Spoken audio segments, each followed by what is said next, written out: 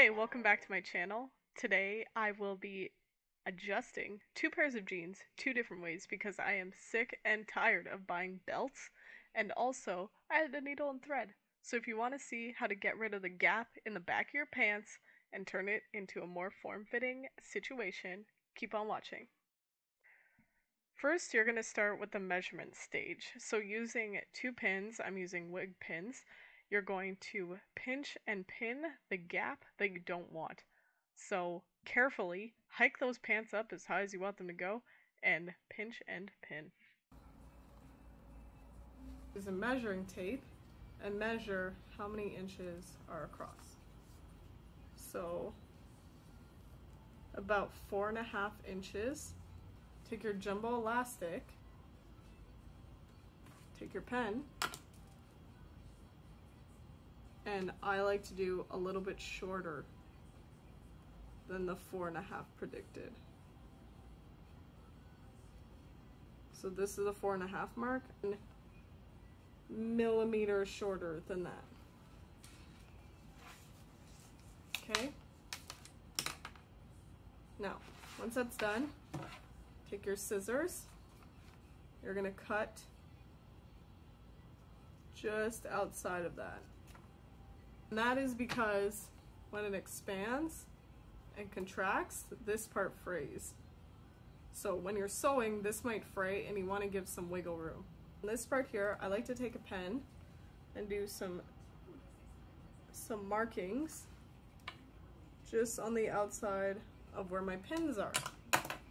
And then you're gonna take your scissors, you don't wanna cut through, you just wanna cut into this gap here where there's a hole. So very carefully, and you can cut a little bit outside of this so you have some wiggle room. So I like to pinch both sides. See there's that pocket? So pinch both sides and grab your inner pocket. Take your fabric scissors and make a small cut. Just enough to make a hole. And then you're going to cut up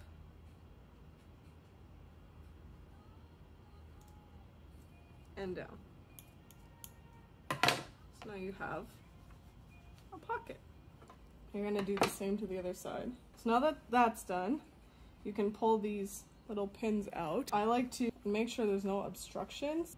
Sometimes this loophole is sewn into the back, so you just want to double check, make sure that's not the case. If it was the case and it was sewn, you would just go in and cut like this, just on the inside of here.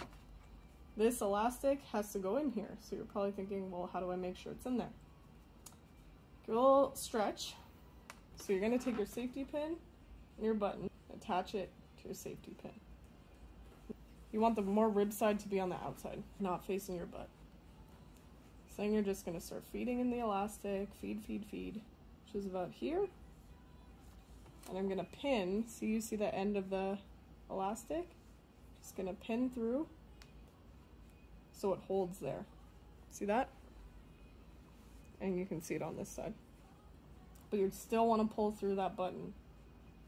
Now that we've caught hold of it, it's naturally just gonna start ruching. That's good. So you're gonna pin through once, and so make sure it comes all the way out, and then pin it back once. There you go. So now you have all this like scrunchy bit, and that's good because that's the part that's gonna form to your body. And on this end too. So because this end is more clean, I'm gonna start sewing here. I'm gonna sew on the inside of this pin. We're gonna sew out till the end. Try and stay in as straight a line as possible. Okay, and then we're gonna sew in. Sew out.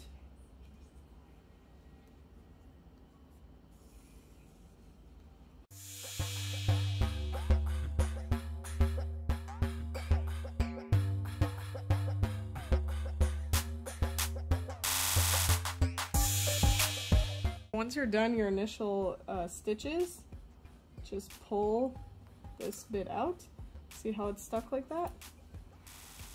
So now what I like to do is sew kind of like a square here so it closes up.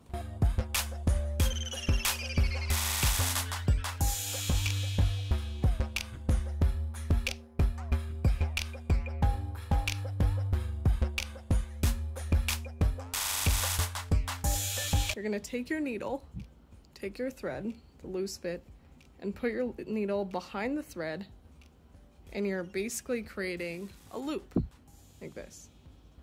And you're gonna pull through gently.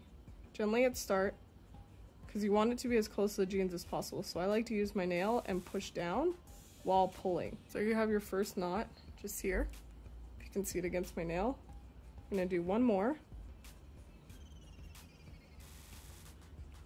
I'm gonna hold down the knot with my thumb and pull it tight. And cut. So that's one side done. And I know it looks super messy right now. So I like to clean up some of the thread. That's the part we tied down. So it looks like this. It looks very messy. It's very amateur hour. If you have a sewing machine, I highly recommend using it. And this is what the back looks like. I personally don't care what the back looks like. Now we're just gonna do the other side.